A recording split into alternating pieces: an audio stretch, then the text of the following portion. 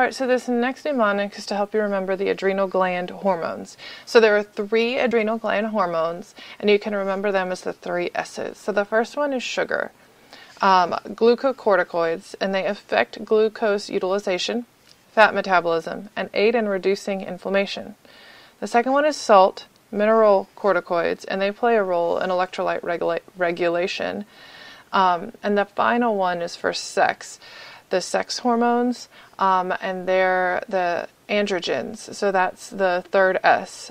So sugar, salt, and sex. Those are the three uh, adrenal gland hormones.